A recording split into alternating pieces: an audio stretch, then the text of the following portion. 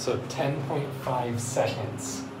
We'll see now what happens when we push the closed door button.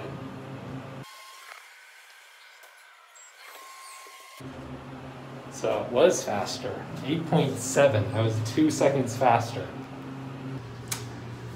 Welcome back to another Let's See What Happens. Today I'm in an elevator checking to see if the closed door button actually works. Life is full of rules. Small or big, they impact almost every part of our lives.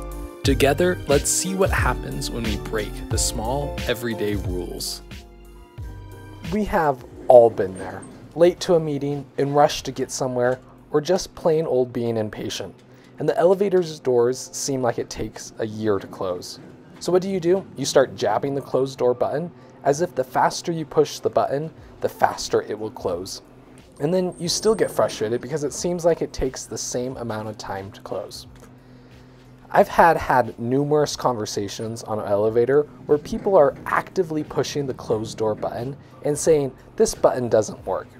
In fact, while filming this video, a guy came up to me and asked what I was doing, and I told him I was testing to see whether or not the closed door button works. He asked eh, whether or not it does, and I said on this elevator, it's the exact same.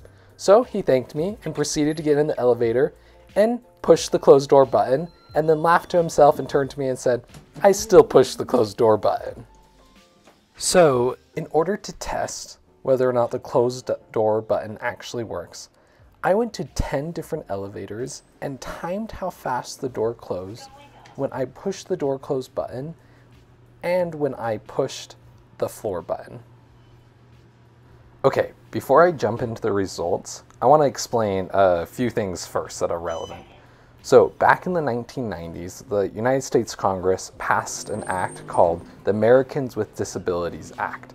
This act is meant to help those with disabilities, and it includes some regulations about elevators. It states that elevator doors must remain fully open for at least three seconds. The United States Access Board, that governs how these regulations are enforced, states regarding these three seconds that, and I quote, user activation cannot reduce the minimum open time, but can control reopening time. Basically, that would mean that the button would only work if the elevator is programmed to keep the doors open for longer than the three seconds. I should also note that these three seconds is a minimum and it can be longer depending on the circumstances. After writing 10 different elevators, I found that the closed door button only would make the doors close faster on two elevators. On the other eight elevators, it did not matter if you were pushing the closed door button or not. If you enjoyed this video, please like below. Like this content about everyday experimentation, please subscribe. Also, if you have any ideas for my next video, please leave them in the comments below.